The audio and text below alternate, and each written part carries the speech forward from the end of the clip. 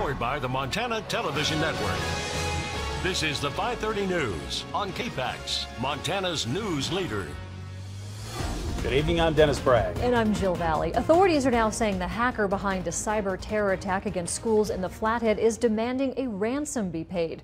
It's the latest information this afternoon from Flathead County Sheriff Chuck Curry, who decided to release the ransom letter this afternoon in order to help parents understand the scope of the threat and the progress of the ongoing investigation, which began when the suspect hacked into the Columbia Falls School District computers last week. Now, the sheriff told us he hopes by releasing the letter, which he normally wouldn't do, it will show the people the threats were not real and were simply a tactic by the cyber extortionists to facilitate their demands for money, close quote. The sheriff also says the group is already known for making other threats across the country and aren't located here in the U.S. MTN's Jack Ginsburg went to Columbia Falls High School today, the school where this all started last week. Today, teachers and school officials met with law enforcement for two hours prior to a public meeting to discuss how the threats were started, when they started, and what the schools have done to bring safety back to the community.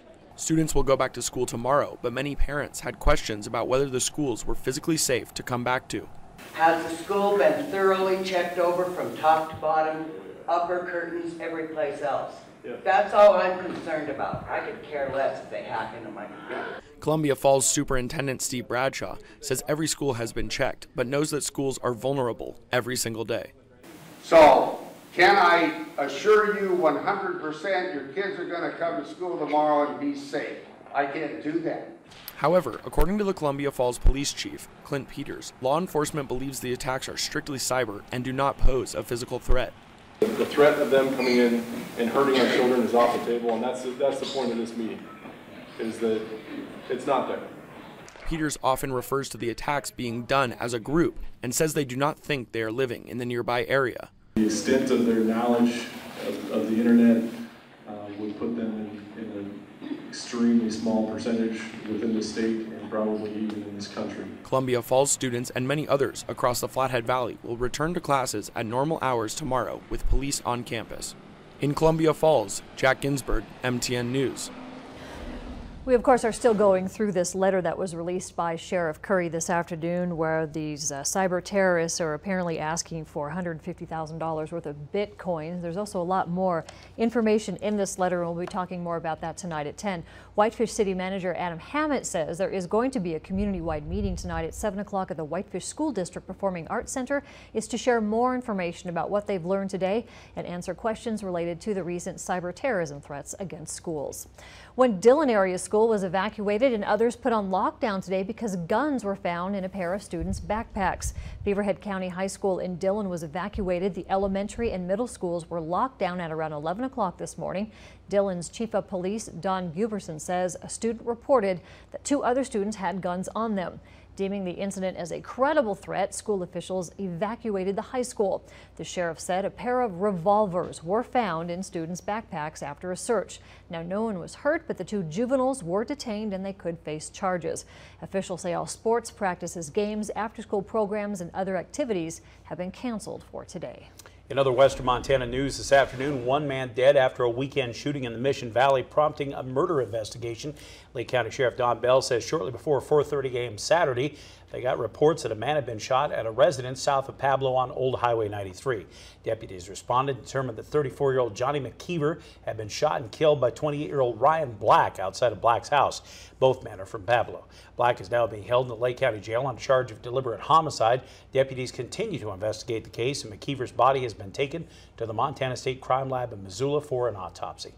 Turning out a weather, some cooler and very wet conditions out there today. Russ Thomas joins us now with more on the rain and the snow we're seeing. Russ? That's right. It took a little time to get going in most areas, but the rain definitely moving through, and we continue to see it across western Montana. It came down heavy for a short period. Generally, though, coming down light right now. And as you see, First Security Bank iCam, this in the Bitterroot Valley, we are gray, we are cloudy, we are cool out there for sure. And it looks like another couple days of that, maybe even three. 46 Hamilton currently, 47 in Missoula.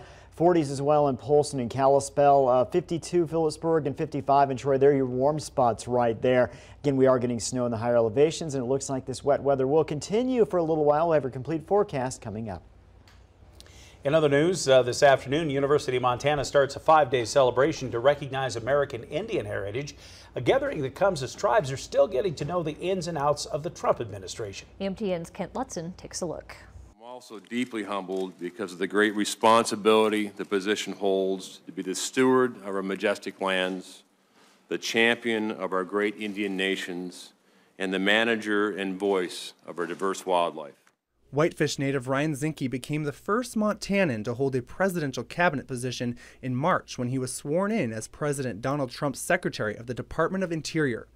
More than 200 days into the job, the relationship between some Native Americans and the new administration is not quite yet defined. Really, kind of the overall trust responsibility and how the administration will engage with tribes still is really yet to be determined because we haven't seen much from the administration yet. Mills says the major concerns are the federal trust responsibilities, engagement with tribes across the country, social justice concerns, and natural resource issues.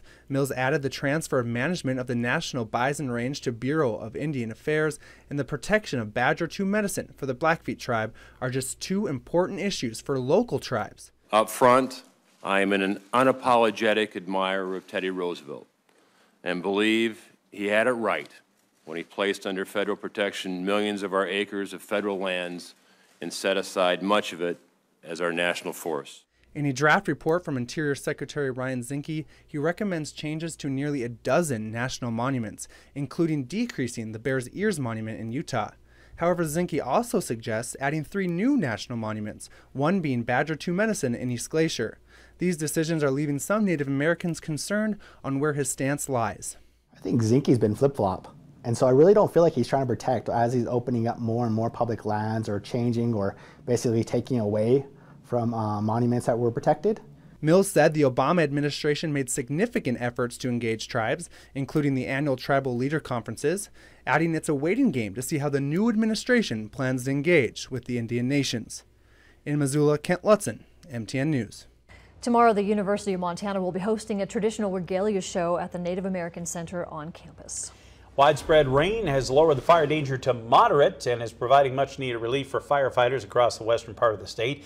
Because of the conditions, fire managers will rescind the stage one and stage two fire restrictions starting Wednesday morning in the Flathead across the reservation and also in the Missoula area. With those restrictions lifted, campfires will be allowed and folks can run uh, internal combustion engines, things like chainsaws and things without restrictions. But officials are still asking people to use caution and never leave a campfire unattended until it's cold to the touch. Open burning, of course, does, does remain closed until October. Our Montana Wildlife Relief Fund now stands at nearly $88,000 in counting. Thanks so much to everybody for your contributions so far. And remember, we'll be matching the first $50,000 of that total. Arthur Blank, owner of the Mountain Sky Guest Ranch near Livingston, and the Arthur M. Blank Family Foundation is going to match, also match $50,000 in donation. If you haven't donated, you can go to our website and take care of that at kpax.com slash wildfire fund. President Trump visits the United Nations on the eve of his first speech before the UN General Assembly. He's also discussing nu nuclear threats from Iran and North Korea. CBS's Meg Oliver has the latest from New York. Thank you, Mr. President. Thank you very much. President Trump refused to say whether he'll pull the U.S. out of the Iran nuclear deal during a photo op with Israeli Prime Minister Benjamin Netanyahu. You'll see very soon.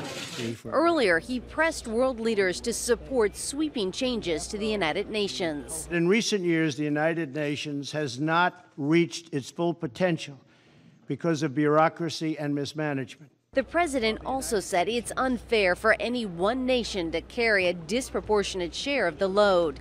The U.S. is the UN's largest contributor, paying at least 25% of the operating budget and 28% for peacekeeping forces. We also ask that every peacekeeping mission have clearly defined goals. So far, about 120 of the UN's 193 nations are on board. This is an opportunity for all of us to seize this moment and ensure that the United Nations remains relevant. President Trump delivers his first speech to the General Assembly tomorrow. He's expected to promote his America First agenda and discuss global terrorism, Iran, and the North Korean nuclear crisis. Overnight, the U.S. and South Korea dropped live bombs over the Korean peninsula, while China and Russia kicked off naval drills near the North Korean border. The White House says Mr. Trump and China's president committed to maximizing pressure on North Korea during a morning phone call. Meg Oliver, CBS News, the United Nations. Coming up in just a few minutes, Russ will be back with a full forecast. Get ready for wet and cool conditions on tap all week long. And we'll learn more about the first road to bring travelers into and out of the Helena Valley, originally known by another name. We'll have much more here on KPAX.